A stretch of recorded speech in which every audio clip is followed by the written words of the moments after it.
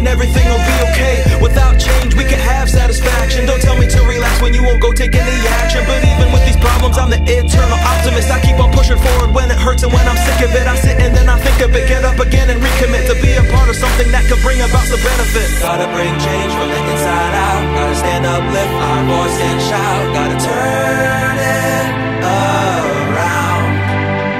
From the streets of the cities to the government gates at a time